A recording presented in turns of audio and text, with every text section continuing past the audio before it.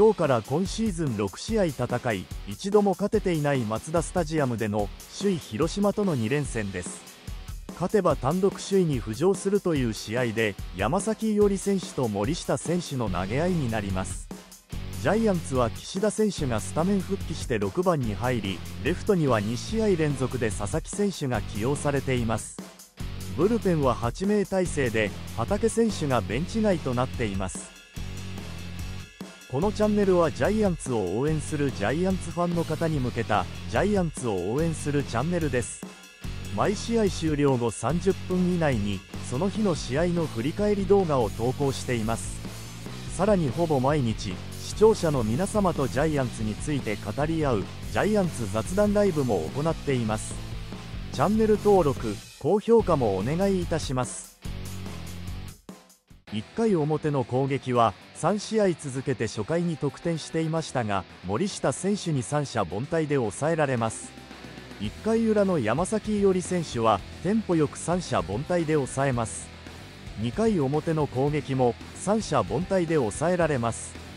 2回裏の山崎伊織選手も三者凡退で抑えお互いに2回までランナーを出せない展開となります。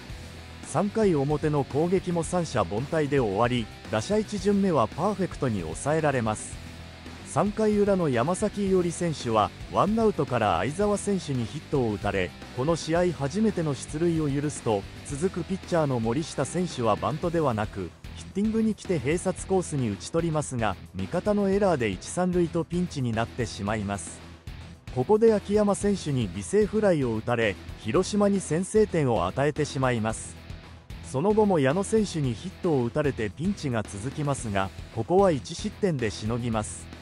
しかしこの回痛いミスから先制点を与えてしまいます。4回表の攻撃ワンアウトから吉川選手がヒットで森下選手から初めて出塁するとエルナンデス選手もライト前へのヒットでつないでワンアウト1、3塁のチャンスを作ります。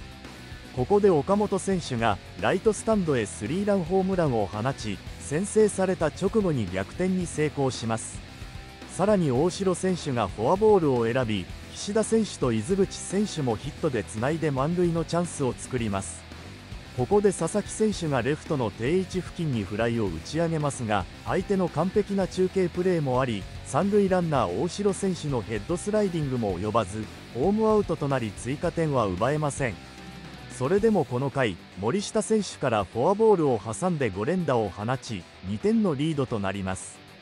4回裏の山崎伊織選手はフォアボールを2つ与えてピンチとなりますが菊池選手を併殺に打ち取ってなんとか無失点でしのぎます。山崎伊織選手は昨シーズン与えたフォアボールの数が年間で25個でしたが今シーズンはこの回のフォアボールですでにその数字を上回ってしまっています。5回表の攻撃は吉川選手の良い打球が相手の攻守に阻まれるプレーもあり三者凡退で終わります。5回裏の山崎伊織選手は三者凡退に抑えて勝ち投手の権利を得ます。山崎伊織選手は5イニングを投げて80球2つのフォアボールを与えていますが被安打2で1失点とまずまずの投球を続けます。6回表の攻撃ワンアウトから岡本選手がフォアボールで出塁しますが併殺もあって3人で攻撃が終わります。6回裏の山崎伊織選手は先頭の矢野選手の打球がこの回からファーストに回った岡本選手の前で大きくイレギュラーする不運な二塁打となり続く野間選手の内野ゴロでワンアウト三塁のピンチとなります。この場面で小園選手の内野ゴロの間に1点を返されこの回も山崎伊織選手は不運な形で1点を失いリードが1点となります。7回表の攻撃ツーアウトから佐々木選手がヒットで出塁しますが得点にはつながりません。7回裏の山崎伊織選手は先頭の大森選手にヒットを打たれ続く菊池選手に送りバントを決められた場面で降板となりました。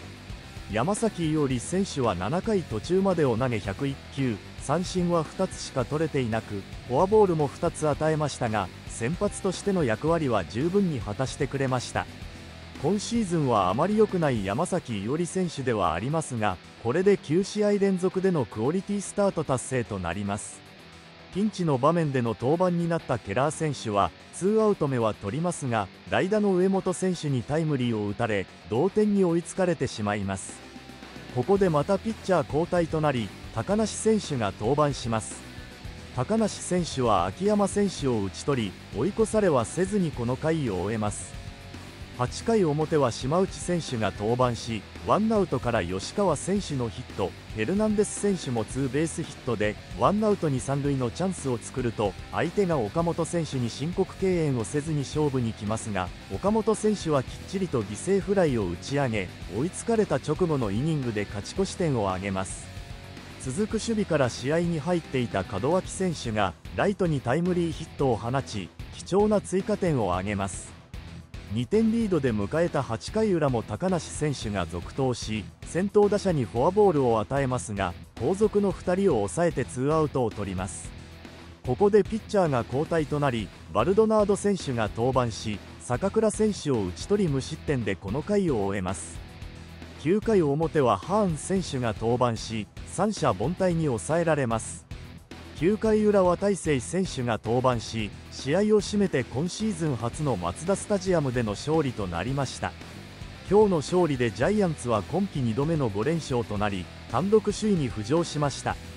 細かいことを気にすればいろいろ改善点もあると思いますが打線が好調で勝てていることはポジ要素と捉えていいですし森下選手からも5連打の集中打で得点できたことは今後に向けても大きなポジ要素です。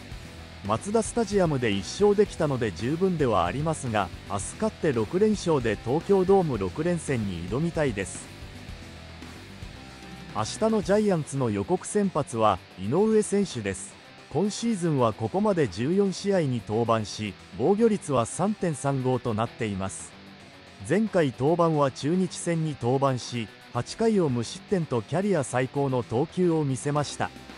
先発ローテに定着してから4度登板していますがローテ定着後の成績は24イニングを投げて21個の三振を奪い与えたフォアボールは4つと好投が続いています。広島戦では通算でもまだ勝ち星はなくマツダスタジアムでは通算6点台の防御率となっていますがここ最近の安定感ある井上選手ならば好投してくれるという期待感があります。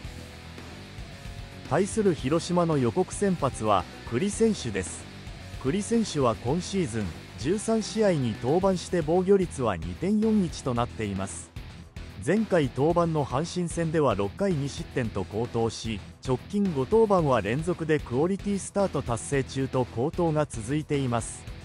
今シーズンのジャイアンツ戦にはすでに3試合登板していて4月12日の対戦ではジャイアンツ打線が1イニングで7得点する猛攻もあり9得点を奪っていますがその後の2試合では6回無失点6回途中2失点と抑えられています。それでも今の打線なら打ち崩せない相手ではないので打線の爆発に期待したいです。今日のイースタンリーグはオイシックスと対戦し2対1で勝利しています。先発登板した赤星選手は5回を投げて3安打無失点。三振は2つしか奪えていませんが与えたフォアボールはなく15のアウトのうち10個をゴロで奪うナイスピッチングでした。来週の月曜日1軍に6枚目の先発投手が必要となりますが赤星選手が中5日で登板することが濃厚となりました。山田選手や馬場選手も1イニングを三者凡退に抑える好投を見せています。この試合では坂本選手が降格後初めて試合に出場しセンターフライレフトフライでノーヒットでしたがフォアボールを1つ選んでいます。今週末から1軍復帰するという話も出ていますがまずは2軍でしっかりと結果を残してほしいです。オコエ選手北選手はマルチヒットの活躍で秋広、浅野、今の3選手はこの試合はノーヒットでした。ご視聴ありがとうございました。また次の動画でお会いしましょう。